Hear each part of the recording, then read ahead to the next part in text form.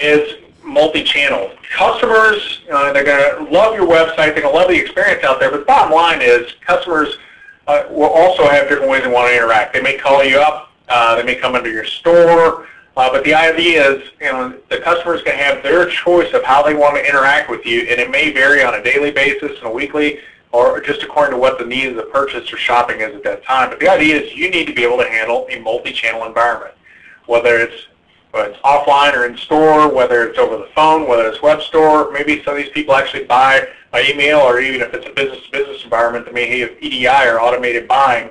But they need to be able to manage these multiple channels, and all that interaction needs to go back to one account. So they may be able to go to these different uh, channels and be able to interact with you, but it all has to come back, and you have to track that interaction and not have that, those in isolation.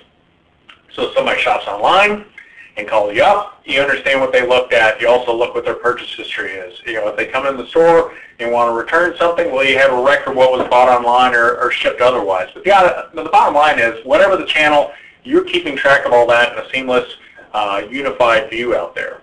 And one of the other things we've seen uh, is now is the advent of, of more channels that are online. So we talked about the web store, but there's an awful lot of people out in the community now that are actually going and, and not just using the traditional channels, but we're also seeing more marketplace capability.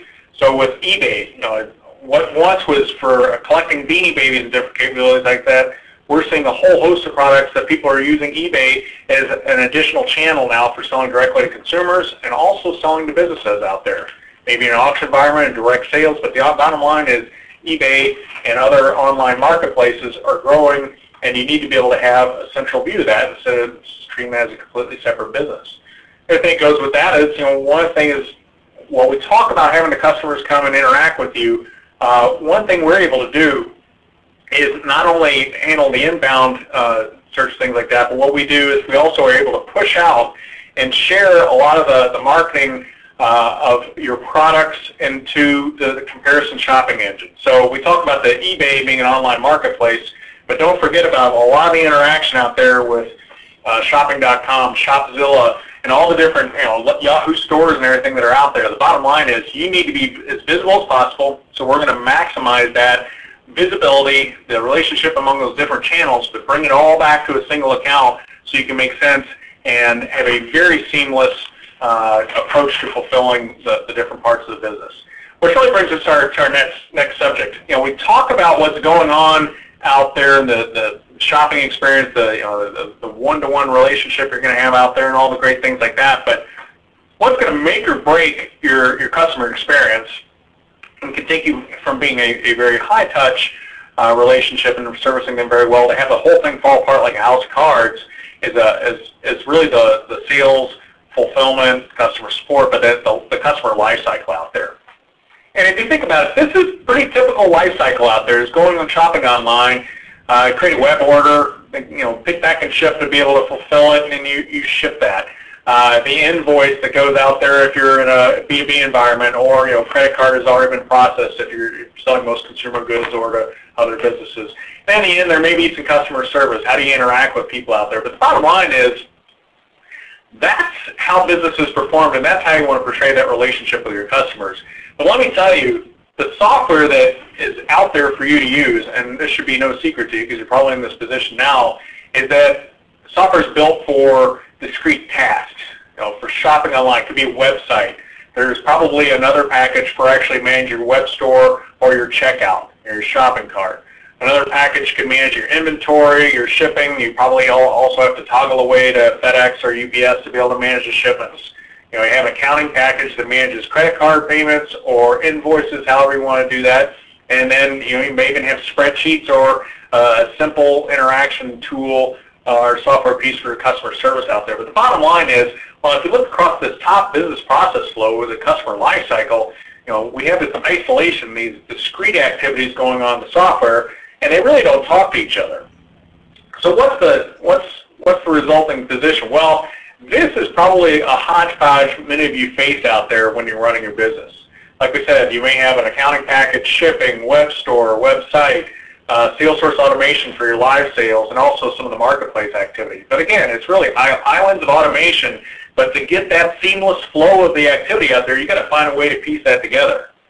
Now the challenge out there is, you know, you're an e-commerce business, you may have come from retail, you may even have catalog, things like that. I guarantee you're not, you're not in the IT business and you're not in the software business. So this challenge of bringing all this together is very costly. It's very complex, and you really have no business doing that. You're really focused on serving customers, having great products and service, not really being in the software industry. And that's one of the main reasons NetSuite came about, because we said, you know, this is just nonsense, making small, mid-sized businesses build and, and piece this whole thing together. There's a better way. We call that NetSuite. The idea is to take, instead of having those multiple pieces of software and forcing you to do all that, well, we are in the software business. We are in the service delivery business. We're going to create an, an integrated package or application that manages the front office, all the customer-facing activities, the back office, so your accounting, your purchasing, your inventory, uh, our billing and things like that. And then the other side is, you know, we we uniquely have integrated e-commerce capability for the website and web store and also the self-service capabilities.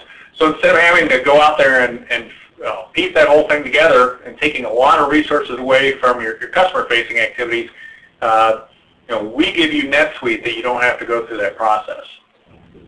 The idea being, you know, if you think back to that, that, that flow out there, that life cycle we want, well, you can manage that end-to-end capability and integrated suite of applications. And the idea is the system will do the work for you and support that end-to-end life cycle that supports your high-touch relationship out there. Instead of having it all fall apart uh, once it actually has to be fulfilled, you know, we support that end-to-end capability. Now we talked about the fact that you have the, the beautiful, rich website experience, very high touch there. We talked about having multiple websites, the multi-language, multi-currency. We also talked about the importance of the ability to manage multi-channel and even the, the online marketplaces. But the bottom line is the importance of NetSuite out there is managing all this, but pulling it back, like we said, this idea of a central brain. And what happens if you get all the information in one place, so we talked about all those activities going on there, it comes back to a single customer account. But what you're going to get with NetSuite is a single view of the customer. You know, if they come to your branded site, if they buy from you on eBay, if they come into a store, if they call you up on the phone, but the bottom line is all the communications and interactions, and everything captured in a single customer record out there. The bottom line is no matter who they interact with in your company, you know, if like we said, if you shopped online and you later came into the store or you sent somebody an email, well, you know, chances are different people, you're going to interact with different people across that space. With NetSuite, everybody has visibility across all those different interactions. So instead of having to transfer you or say, well, I'll get back to you, they can work with you and have a very seamless uh, discussion and, and, support of you. The other thing is you have a complete transaction and purchase history. And what that helps to do is, you know, serve and sell more of what the people want and need and be able to maximize